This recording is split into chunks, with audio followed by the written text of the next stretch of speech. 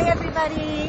Made Abby drive me to the Gulf of Mexico because this is my special place, and I wanted to be in my special place because I have something special to tell you. But it's too windy, so we're gonna stop this and go over there. okay. Okay, so the question is Is what we're doing here each day even going to make a difference? Does it matter what we're doing for this 40 Days We Can Do Hard Things campaign? I want to tell you a quick story to answer that question for you. Last week, I came on here and I told you that the most effective way we can use our time over the next three weeks is to make direct calls to voters. Okay, that study after study proves that that's what makes the difference in the last three weeks. And I asked you to commit hours out of your very busy lives through um, thelastweekends.org, which is run by Swing Left, to sign up to Phone Bank, to sign up to Text Bank, to write letters. I didn't know how many people would do that. The next day, Swing Left called me and said that in within one day, over 4,500 hours were committed. That's 212,000 phone calls made directly to voters in um, the tightest races. Swing Left couldn't believe it. They have been in operation for four years and it was their single biggest day ever.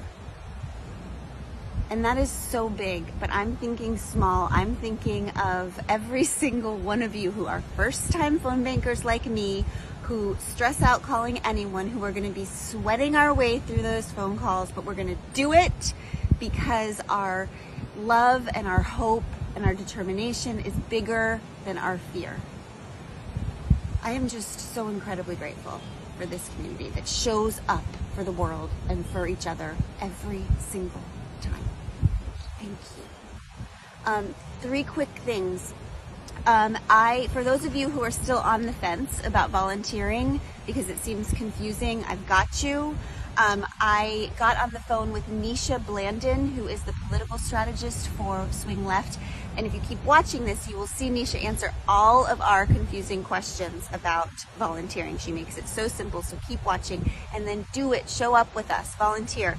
And then also, um, this is fun. Okay, you know that I don't do parties, but there is a party this evening that even I am going to attend because it's the kind of party that we can attend while in our pajamas on the couch. Um, and also Stacey Abrams will be at this party, and I actually will go to any party that Stacey Abrams is going to make an appearance at. Swing Left and the last weekend is holding a rally tonight. Just something to like get us all connected and informed and refueled as we move into this last three weeks, which are the most critical three weeks maybe of our nation's history. Um, so show up RSVP, the, the directions are in the comments. Um, I'm going to be there. I just want to be all together in this because it doesn't say I can do hard things. It's we can do hard things. Okay, that's it. Um, I love us. We are going to keep showing up. We're going to make a difference and we're going to stay together. We're going to stay human. We can do hard things. I love you. And thank you so much for being here today. Thank you for having me. I'm very excited. Yeah, so to my whole community, this is Neisha Blandin. She's the head of political strategy at Swing Left.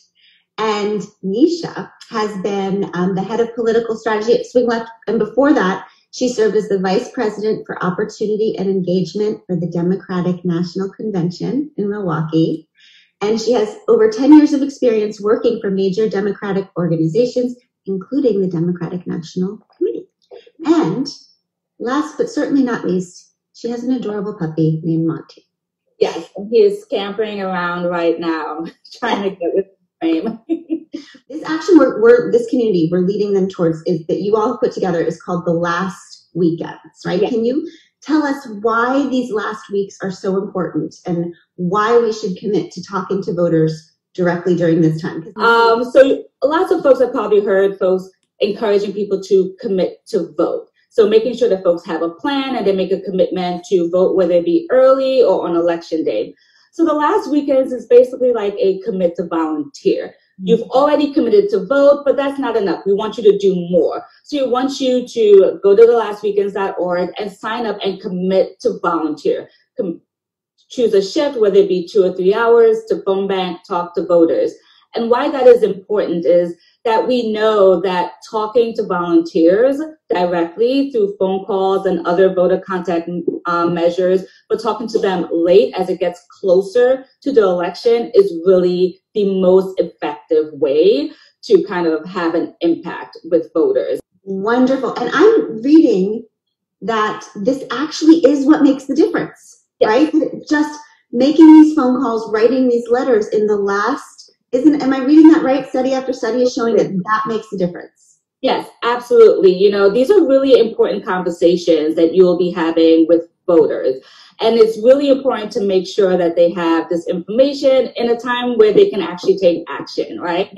So, yes, talking to a voter and encouraging them to vote six months ago is great, but it's not as impactful. You want to make sure that the last conversation they hear is, you know, from us, you know, encouraging them to go out and vote, but also making sure they know where their polling location is and making sure that they know, you know, that early voting has started in some states. So it's really one of the most effective and also one of the most impactful things that you can do is make phone calls to voters. That's so great because you can do it from home. Okay.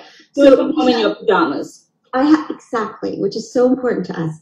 Now I have a, a couple slightly embarrassing questions. So this will be my first time actually phone banking or right. And there's also letter writing for those yeah. of us who have. So everyone who's watching should know that Neisha has two different opportunities for us that you will find at this website. We can phone bank or text text bank. Right? Yes.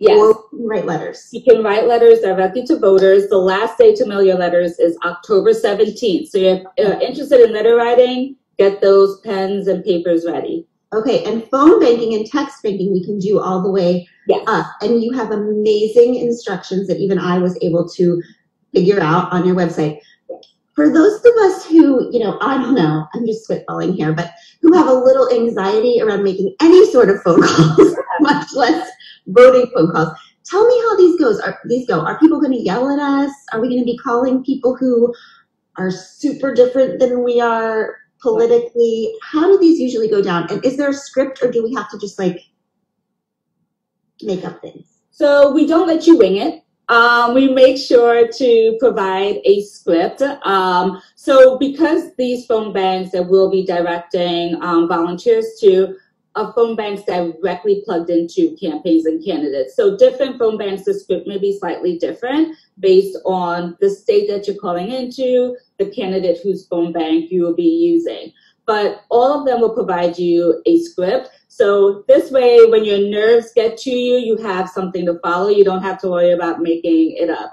But yes, it can be nerve wracking. So I will encourage you to practice. Practice with a friend, practice, you know, with a loved one, just to kind of get your nerves out.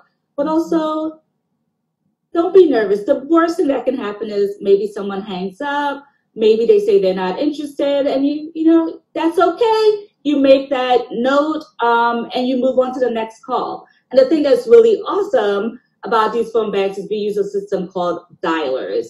So these will automatically dial voters for you and only connect you when they pick up. So you don't have to worry about possibly getting a voicemail and what do you say. So it'll only connect you when someone actually answers the phone. And this allows us to talk to more voters and get connected to more voters more quickly.